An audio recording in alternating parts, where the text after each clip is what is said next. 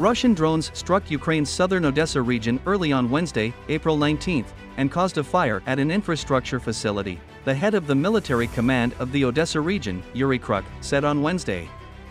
Ukraine's Operational Command South released a video showing firefighters working on site of damaged building and what appears to be drone part with a sign reading Do Not Touch in Russian. Reuters was able to confirm the location from the building structures and cartoons seen outside the complex which matched the file imagery of the area. Reuters was not able to independently confirm the date the footage was taken. No casualties have been reported and firefighters were working at the scene, according to officials.